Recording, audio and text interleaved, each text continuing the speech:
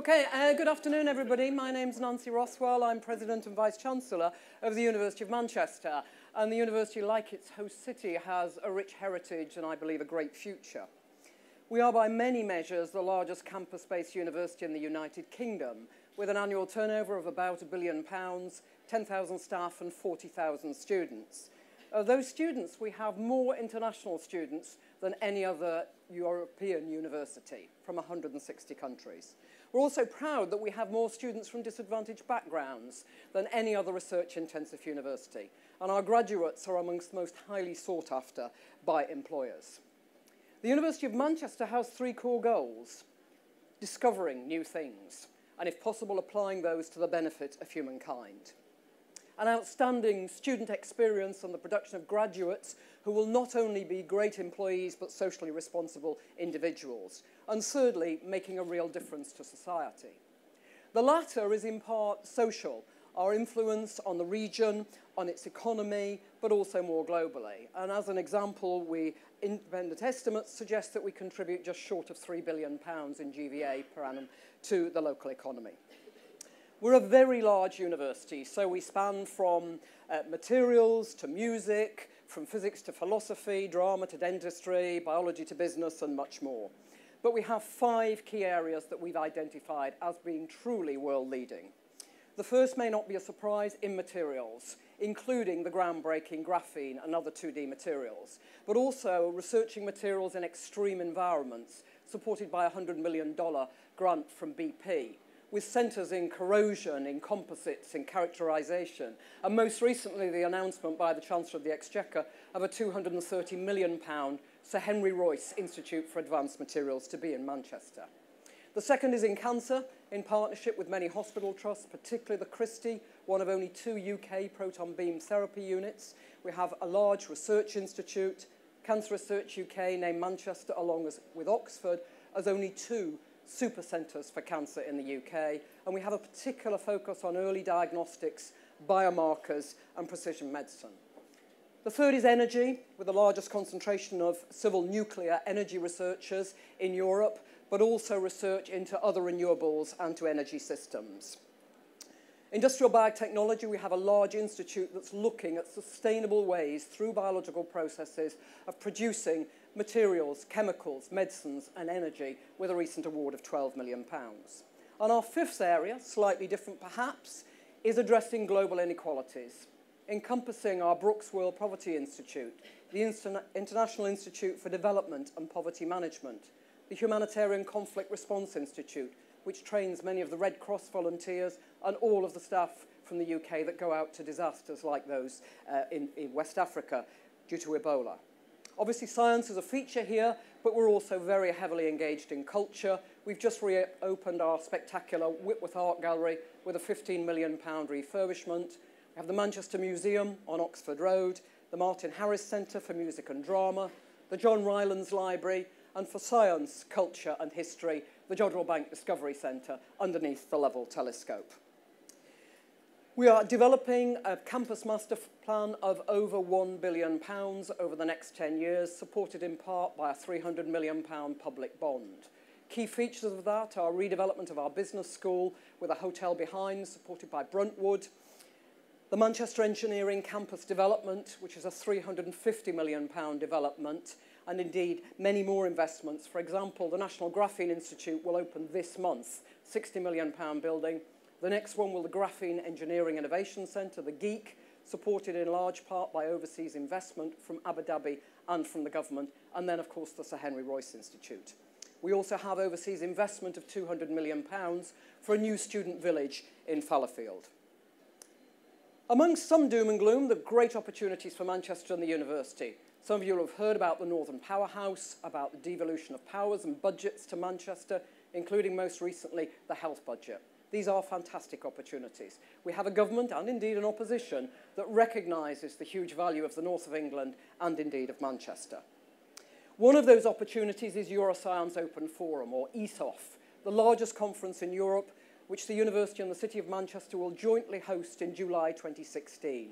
We aim to attract over 4,500 visitors, including 500 from the media. We'll have from cutting-edge science and Nobel laureates to the earliest research careers. We'll have interactions with business and we'll have science in the city with events across Manchester, across the region and across the UK. And finally, this means that Manchester is European City of Science from now up until ESOF. There'll be a whole range of events. The first one can I urge you to watch next week on the BBC, Stargazing Live, broadcast live from Jodrell Bank by our own Brian Cox, which will include, of course, live footage and links to the total eclipse that will be seen from the Faroe Islands. So I'm now going to show a short film, but if you want to hear more about ESOF, about Manchester, about the university, about European City of Science, I'll be in conversation with Sir Howard Bernstein in the Manchester Villa at 4.15. Thank you. This is Manchester. European City of Science, where scientific innovation is in our DNA. Indeed, Manchester is the city where Rolls met Royce, where Ernest Rutherford first split the atom, and where Alan Turing pioneered the concept of artificial intelligence. If these are just some of the highlights from the last century, what should we expect from this one? We've already had graphene. The world's thinnest, strongest, most conductive material was isolated here for the first time in 2004.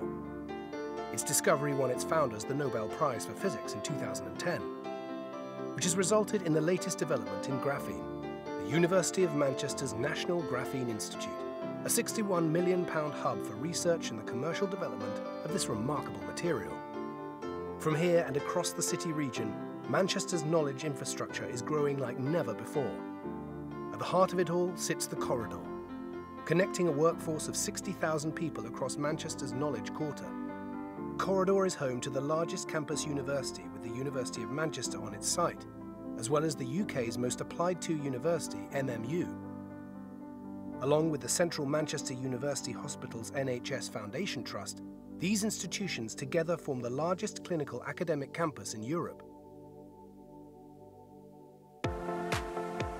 Corridor is also home to Manchester Science Partnerships, a world-class science and technology community which extends from its central base in the city to Alderley Park, a flagship bioscience R&D site located just 30 minutes drive from central Manchester. Organisations like Manchester Science Partnerships are an integral part of the UK's innovation infrastructure, supporting the commercialisation of research and technologies originating from our university and clinical institutions.